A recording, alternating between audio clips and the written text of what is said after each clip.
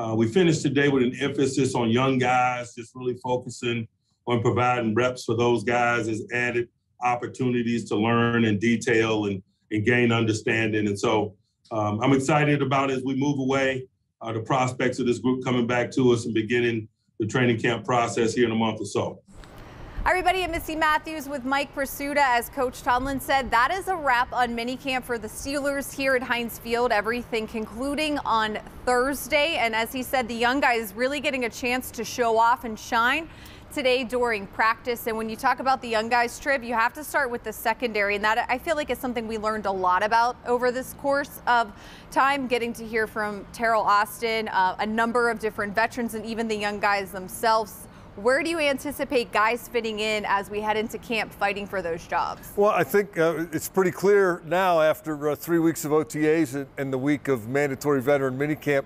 Uh, Antoine Brooks is first in line for Mike Hilton's nickel cornerback job. There's been a lot of speculation.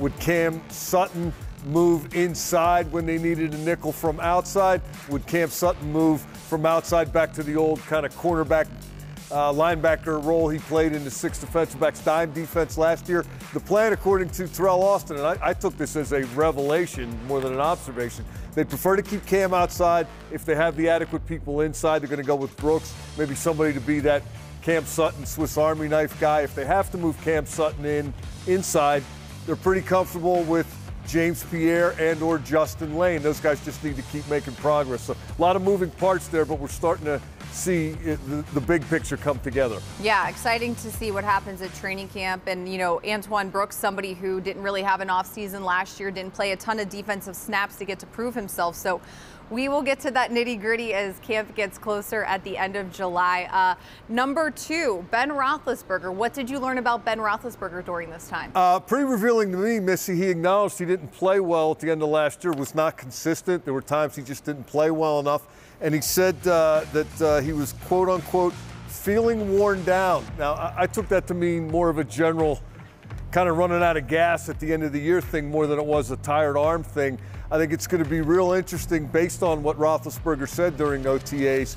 Uh, I think monitoring uh, whether or not he's becoming worn down will be at least as important as monitoring how that uh, surgically repaired elbow feels.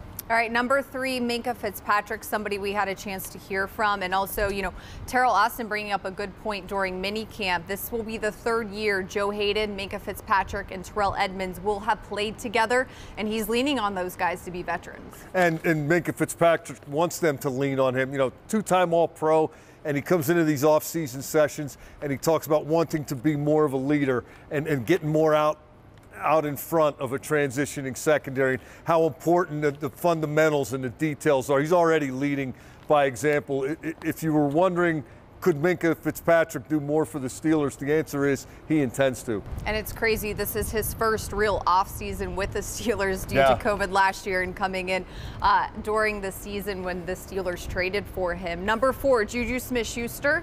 He told us his goal for this season is to play more outside. So, of course, everybody that plays on offense was asked if that's possible. What did you take away from that? Uh, the one that I paid attention to was Matt Canada, the new coordinator. And, uh, uh, he basically didn't rule anything out, but he also made it very clear they're not going to be uh, dependent upon any particular play, any particular scheme, any particular formation. They are going to do what they think uh, helps them best win football games. And if that includes Juju Smith Schuster playing outside as he wants, he'll play there. If they need him inside, he'll play there. Uh, Matt Canada thinks as long as they're winning, uh, that'll keep Juju and everybody else very happy. That's something that Juju talked about as well, Missi, when uh, he was asked about statistics and can all the talented skill position players on this team get the ball enough.